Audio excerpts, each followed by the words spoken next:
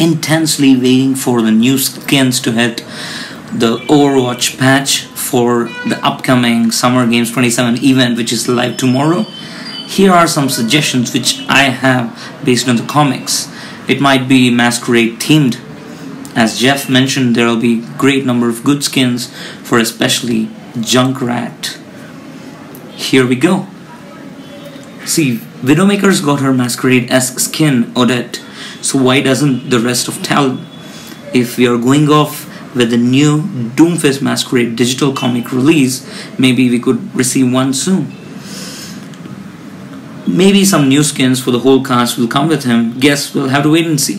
Here are some of the suggestions which I have, which might eventually come up for the summer games or later on for the cast of Overwatch based on the latest comic book. Here's the list. Snazzy Widowmaker and Snazzy Doomfist, Formal Wear Sombra, Talon Bad Guy Zenyatta, Joker Sombra, Skullboy Reaper, and last but not least, Shakespearean Doomfist.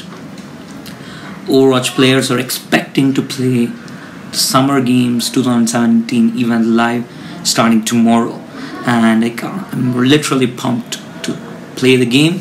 We've anyhow getting the old 2016 Summer Games skins at discounted price.